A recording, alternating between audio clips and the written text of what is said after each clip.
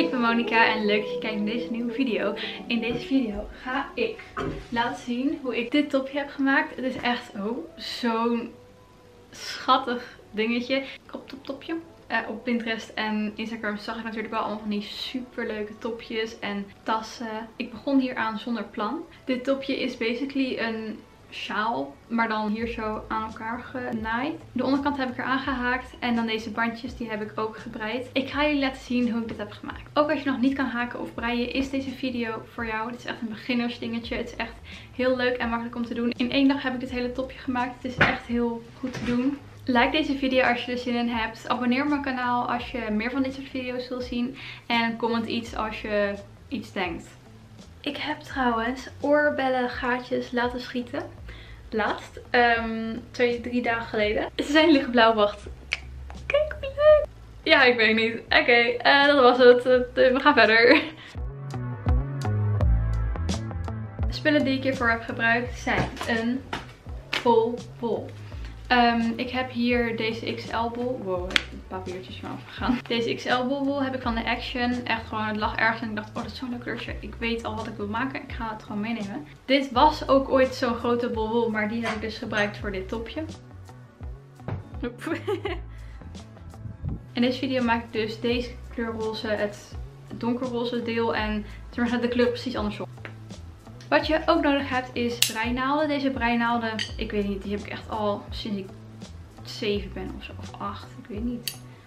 Um, ik heb ook haaknaalden. En stel je kan nou niet haken of niet breien. In principe kan je eigenlijk ook gewoon dit hele topje haken of dit hele topje breien. Uh, maar ik vind het leuk om het te combineren. En voor de rest heb je eigenlijk alleen maar een schaar nodig. Dat, dat is het enige wat je nodig hebt allemaal. Dan beginnen we nu met een mini dit is hoe je moet breien. Ik ga twee steken leren en natuurlijk hoe je opzet en afbreidt. Stap 1 is het opzetten van het breiwerkje op je breinaald.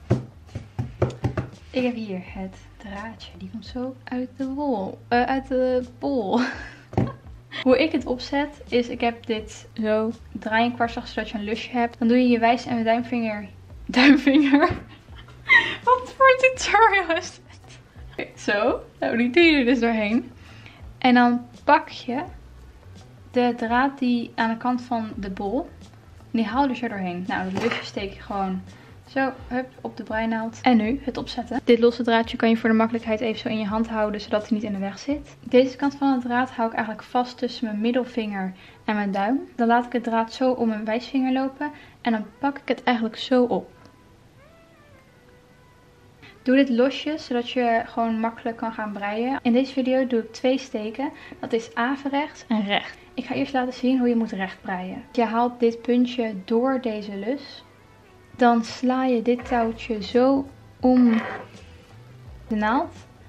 Dan haal je hem zo dan terug. En dan duw je hem hier zo. En dan slide je hem er vanaf. Hoe hou ik alles vast? In mijn linkerhand heb ik dus de linker naald. En eigenlijk, ik hou hem gewoon vast. Een wijsvinger leg ik een soort van op het lusje. Dan heb ik natuurlijk ook nog mijn rechterhand. Eigenlijk heb ik mijn breinaald alleen vast met mijn middelvinger en mijn duim. Het draad heb ik hier vast in mijn pink. En dan loopt het draad eigenlijk door mijn wijs en middelvinger. En die zit dan over mijn middelvinger heen. En als ik dit zo vasthoud, dan kan ik zo in één beweging die draad er omheen slaan. En dan hoef ik eigenlijk geen gekke bewegingen te maken met dit lusje helemaal opnieuw pakken. Dan nu averechts breien. Bij deze breitechniek zet je me niet zo in, maar vanaf deze kant. Dit draad aan deze kant. Insteken, omslaan, doorhalen, af laten glijden. Ja. Het leuke is, dat als je die twee steken met elkaar omwisselt, dat je dan dit krijgt. Oh, uh, afhechten. Afhechten. Gewoon doen alsof je gaat breien. Twee lusjes. Dus dan heb je dit. Dan haal je het eerste lusje over de tweede heen. Dan heb je nog maar één lusje. En dan doe je weer eentje opbreien. En die doe je dan ook weer over dat lusje heen. En dan ga je zo door. Afknippen. En je hebt een lapje. Maar dan ga ik nu laten zien hoe je het topje maakt. Ja, step by step. Zo maak je een topje.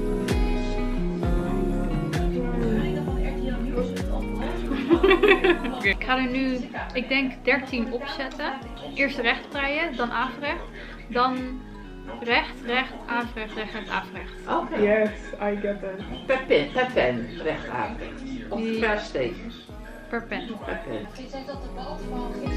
Like dit niet. Um, ik was uit de klas Oh. dit jaar. Um, en brood en pap, ja. Oh, top. Die? Ja. Ja, mama. Ja, vier. Oh, dat ben ik. Je niet?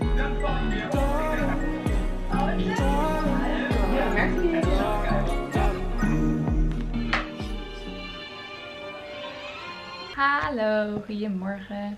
Ik heb dus eventjes getest met de bandjes. Want kijk, deze, dat is gewoon alleen maar ehm A-recht. Als ik averecht, recht, averecht, recht doe. En dat is dus dit. Dat is wel, ik weet niet... Hm. Ja, ik ga toch wel gewoon voor alleen maar af... Nee, alleen maar recht. Laat echt goed stuk over. Zodat je dat eh, touwtje hier aan kan gebruiken om de bandjes aan het topje te hechten. Dus dan ga ik deze gewoon uithalen. En... Al dat werk. Al dat werk. Nee. Ik zet er vijf op. En dan ga ik gewoon alleen maar recht breien. Eh,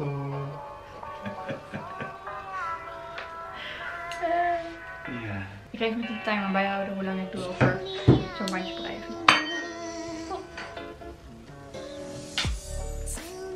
Niet eens 10 minuten. Ik nog ruimte overlaten.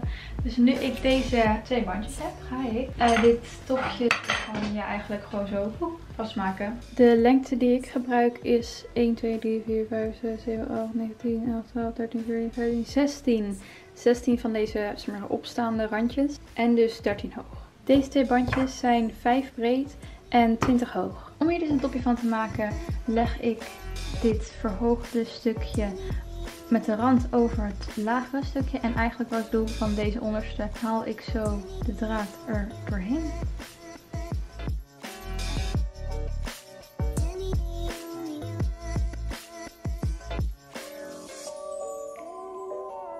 En om ervoor te zorgen dat het draadje niet helemaal ontrafelt, haak ik het er even zo doorheen. Een beetje er doorheen weven. Knoopje erin. Je ziet er gewoon echt niks van.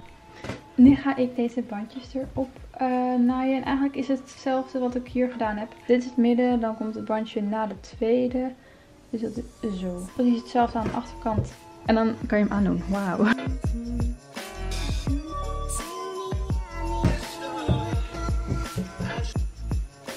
En dan is dit tot nu toe het topje. Ik vind het best wel een beetje heel dood. Ik ga met de- deze donkere kleur een band hier maken. Je zou het kunnen doen door eigenlijk gewoon zo'n eh, bandje te breien en dan zo dat het om je heen past. Ik ga het haken, want ik kan haken.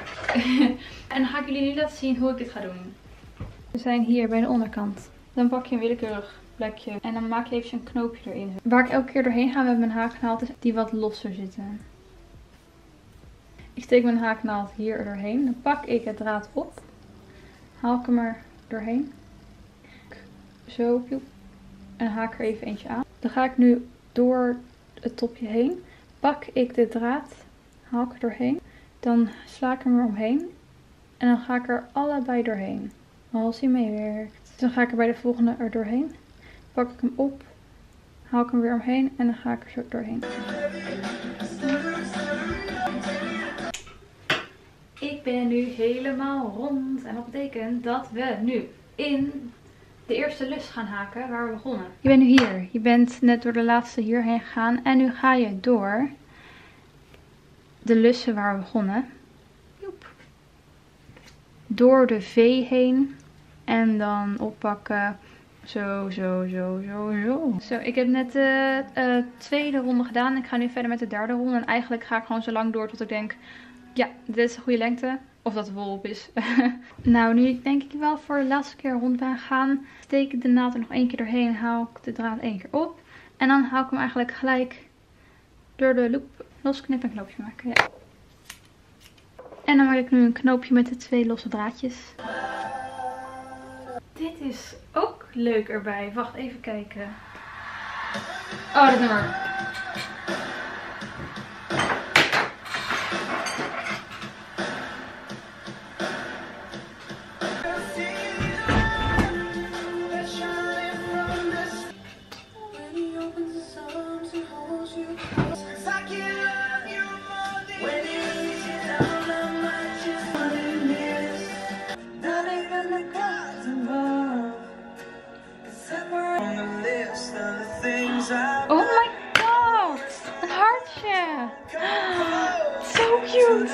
Even voor duidelijkheid hoe ik dat hartje heb gemaakt. Ik pak eigenlijk gewoon het touwtje zo. Oh, dat is niet het touwtje.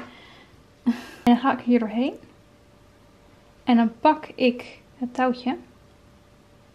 Dan doe ik die gewoon door deze loop. En dan ga ik in de volgende. En dan pak ik weer het touwtje. Dit is zo ontzettend schattig. Je ziet het niet goed, want het is wel niet scherp, maar... Oh my god. Ontzettend Oeps, cute is dit topje. Het was zo makkelijk om te maken, maar het is zo cute. Klaar voor het lekkere weer. Deze, deze april is zo koud en nu is het mei zon, schijn. Het kleurpalet van um, Winnie the Pooh, varkentje knootje. Dit was dan de video. Ik hoop dat je het leuk vond. Uh, ik hoop ook dat je het een beetje kon volgen. Um, anders um, vraag je maar in de comments uh, als je iets niet snapt. Misschien kan ik nog een... Ja, ik weet het niet. Voor nu is mijn taak om deze video te editen. Volg me ook op andere dingen. Ik heet bijna overal Kladblad. En op Pinterest heet ik um, Monica ASVB.